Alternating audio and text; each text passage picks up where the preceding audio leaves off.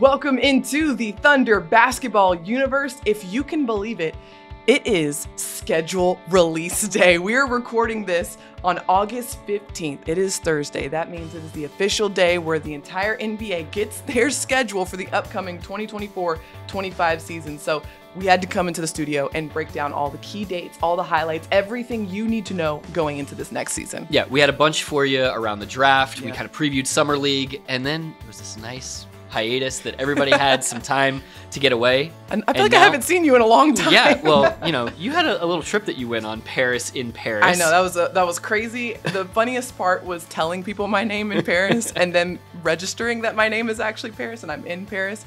I, I took 27 years. We finally got there. You got there. finally And- got there. And you were there during the Olympics. Did you happen to bump into Shai or Lu while they were playing for Team You Canada? know, Paris is such a big city, so I didn't actually bump into them, but I did see their their counterparts in beach volleyball Nice. going to work. Okay. The shout out to the Canadian women's beach volleyball team came got silver. I, was- I got to see that in person. I was very very happy for our Canadian neighbors. you know, the athlete world is, is small. Maybe there's a chance that they all know each other in some way or shape or form. So maybe Shai and Lu were there with you in spirit or something. You know, like and that. shout So, out to Shai yeah. and Lu representing Team Canada Amazing. out there Yeah. in Paris and, and really doing a great job out there. yeah, they they were them. They you were know what I them. mean? Like Shai did his thing, um, was really impressive. Canada did not, you know, uh, Mm-hmm. make it all the way, um, but uh, and Lu obviously was, you know, lockdown Lu as we as we know him to be. Um, but that leads us to this moment, which Yes, is schedule release. 2024-25 season is coming at you. And you know that those guys who have been putting in the work during the offseason, guys like Shai and Lu who are playing internationally during the offseason, they all say those moments help them bring their best game, put their best foot forward during the regular season, which is what all this is for. Yeah. So let's dive in some key dates, some highlights that you need to know about this schedule. First things first, how about that season opener? October 24th. Mark your calendar. It's going to be on the road. The Thunder are going to face off against the Denver Nuggets and Nikola Jokic on October 24th. Yeah, I mean, hitting it right away. Division rival, one of the best teams in the Western Conference, two of the best teams uh, from last season. Uh, but the Thunder knows, you know, you got to build from the start. Right. And that game one is the start. There's no carrying over any of the victories from last season. Uh, there's no, hey, these were two squads that, you know, we're, we're duking it out for the number one seed. Yeah. All of that is out the window. These teams, they've got to build their seasons from this from scratch from the start, and that is going to be quite an environment to do so in. Yeah. Obviously, Denver a very tough place to play. Yep. OKC's had some great experience there. Um, just last year had some really nice victories, but again, can't carry any of that over. Got to be able to hit the ground running. And what's interesting is it starts a two game road trip for Yeah. the Thunder to start the season. Going to start out in Denver, then head out to Chicago, funny enough, play against the Chicago Bulls, and then come back to OKC on the second night of a back to back for their home opener on October 27th. That's a Sunday, and the Thunder's going to kick off their home regular season against the Atlanta Hawks. yeah, always great that moment where Thunder fans here at Paycom Center get a chance to see their guys run out That's to the right. floor for the first time. Of course, uh, some newcomers, Alex Caruso, Isaiah Hartenstein, those guys will get a chance to feel that Paycom Center love in full effect in the regular season for the first time that night. Second night of a back to back, third game in four nights. That's tough.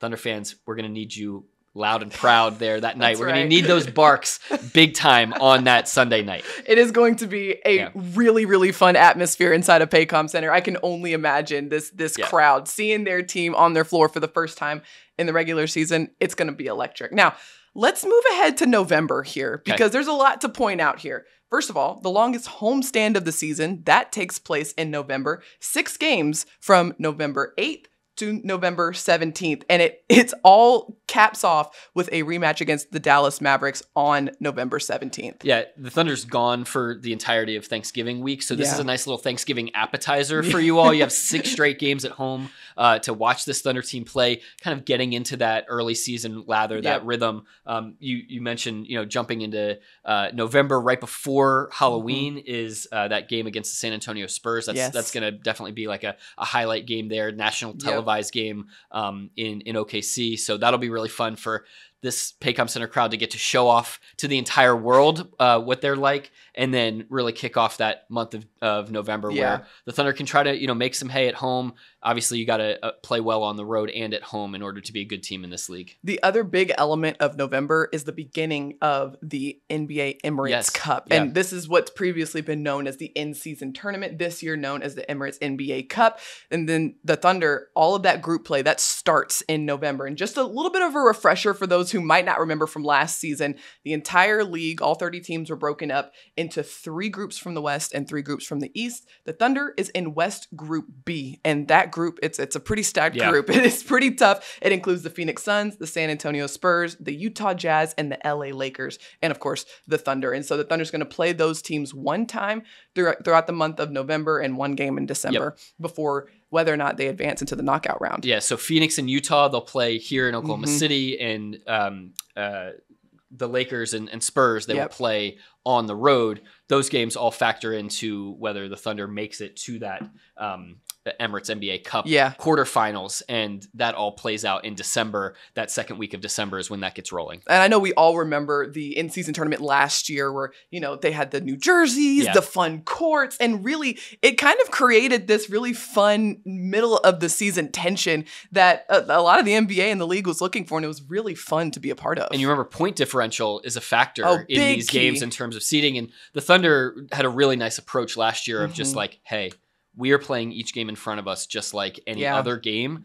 Um, but you could definitely it- they could learn from the noise and the stakes Right. and like how to handle that type of pressure. I think it's a different environment. yeah, and Mhm. and as something Mark Daigneault always says is like you don't want development to ha- happen in a vacuum. Exactly. You need there to be all sorts of different contexts for players and um, the staff even to sort of have to navigate and make sure that they're still on their A game. a variety of experiences Right. always bodes well for really strong development, in the words of Coach Daigneault. So that brings us to December. And if you look at the Thunder's calendar, you'll notice a stretch of days there that are unscheduled Yeah. at this point. And obviously, that is pending the outcome of the Emirates NBA Cup, whether or not teams will advance to the knockout round or whether they will be assigned to more regular season games. Yeah, and so of course that all depends on what happens in the NBA Cup. Um, did a little bit of homework on this, and if the Thunder does not make the quarterfinals, uh, their away possibilities would be Dallas, the Lakers, the Phoenix Suns. Okay. Their home game possibilities would be the Spurs, the Warriors, the Kings. Okay. So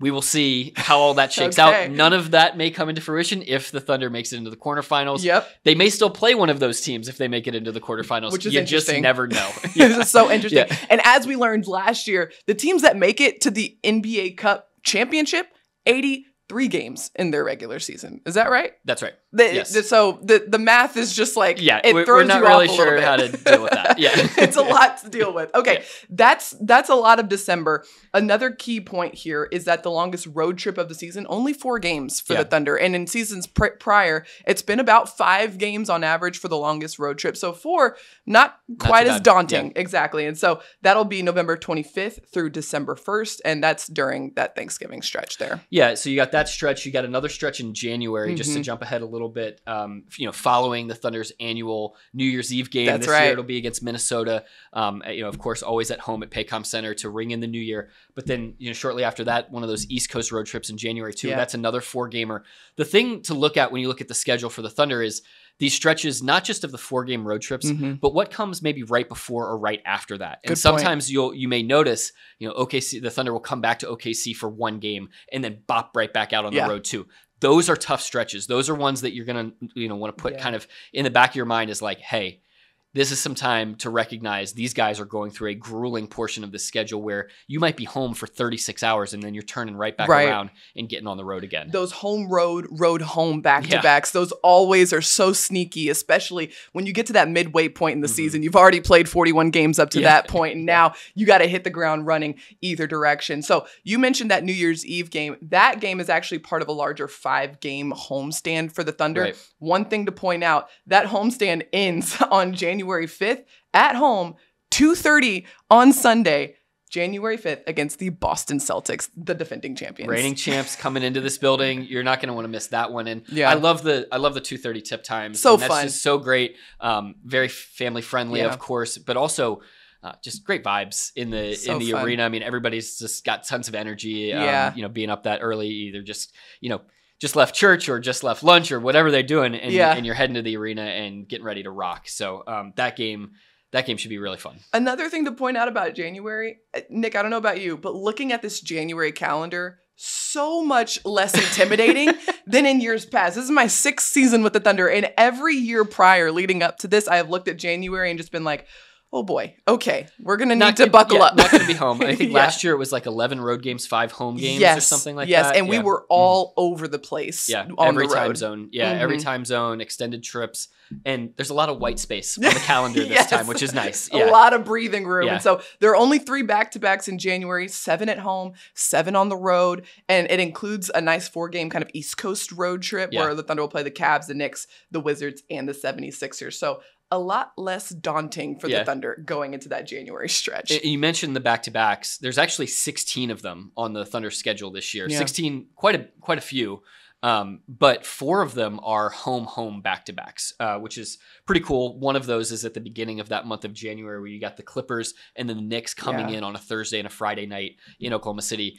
That should be pretty fun. I mean, two you know great opponents that are going to be coming into this building, um, and you get a chance to see them on back to back nights. So keep a lookout for those home home back to backs. Four out of the 16. Looking ahead now into February, the Thunder starts February with a four game homestand, which is very nice. But to your point about looking at the schedule in a kind of a two week stretch kind of layout, the Thunder has the All Star break from the 14th through the 19th in February. But leading into that All Star break might be a little bit of a grind for OKC. Yeah, take a look. I mean, there's two back to backs in uh, the span of a week Yeah. in that stretch. So you basically you know, And you got- home road right. back to backs. right. Yeah. So you got five games in seven nights, and then that last game before the All Star break is is that Thursday night. It's a TNT exclusive yeah. at Minnesota, and then you know who knows what contingent might be going to San Francisco for right. the All Star weekend there at Chase Center. Um, and then you're coming back and you're right in the mix again at the end of February. That starts a stretch of five out of seven games on the road, and the two home games are on the second nights of back to backs for the Thunder. So Yeah. that is a really grueling stretch in February right there for the Thunder, even with the All Star break in the middle. a really good test of character here because Yeah. you're going to have to really work on recovering during the All Star Mhm. break. Try to get as much rest as you can because you really do hit the ground running post All Star break, leading into what looks to be a pretty busy March for Yeah. the Thunder compared to years prior. You've got 16 games in 31 days, three back to backs, and that includes this. Fun little mini series right there in the second week of March, March 9th and March 10th, back to back games at home against the Denver Nuggets. Yeah, there's a few of these stretches where, and, and there's one in, in the end of February too, where the Thunder's Yeah. playing at Minnesota and then at home against Minnesota. This one that you're talking about is Denver, Denver, both in Oklahoma City. Yeah. Kind of wild that the Thunder is, you know, dealing with a big divisional rival Right. in that fashion. That both times that the the Nuggets are going to have to play in Oklahoma City happen to be in that one stretch. Um, you know, there's just so many subplots that can come from that. What if somebody's injured over that two day stretch? That completely changes the dynamic of those games. If Exactly. in, in comparison to if they're spaced out. Um, that's the schedule. I mean, That this is. this every team is dealing with stuff like this. yes. Um, and it's so interesting to just see how it all kind of flows and lays out. I mean, these situations, while this schedule is obviously unique to the Thunder, Yeah. every team is dealing with their own kind of faces of adversity and Right. challenges. And so keeping that in mind, because when you get into March, you get into April, that is start that starts to become crunch time leading into the playoffs. And for OKC, they'll end the season actually on a three-game road trip out west, facing the Phoenix Suns, the Utah Jazz, Yeah. and the New Orleans Pelicans. And just one thing to add about sort of that grueling stretch in March, Mhm. and then you head into the final days of the season on the road, which starts with the second night of a back to back. Is this is why the Thunder has built a roster that has great depth to it Mhm. and has you know really leaned in as a coaching staff and development staff to playing so many of its guys Yeah. and keeping them all fresh, keeping them all game ready, keeping them engaged in the rotation because throughout the course of a tough 82 game season, there are definitely going to be times where you need every single player to Exactly. s- be able to stand up and deliver. Be on the lookout for that over the course of the season because that's how the Thunder can stay fresh throughout the year. I mean, how many times last season was it a different guy every single night for the Thunder, whether it was a Aaron Wiggins Yeah. game or a big Isaiah Joe game or a big Jay Will game, Jalen Williams. I Mhm. mean, those sort of things, that is exactly why, to your point, the Thunder really works on integrating these guys throughout the regular season, mixing up those lineups, trying to see who can be what for what point in the season. And so this will be a really good test, especially during that stretch to see who who steps up, who rises to the challenge there. Yeah, I mean, I'll never forget the the game the game winner that J Dub had against Portland Yeah. at home last season. You know, there were two way guys who were jumping in to to that game and just making some plays, and every little bit counted because the Thunder, you know, was coming back on the 2nd night of a back to back, really tough stretch that it had right before then.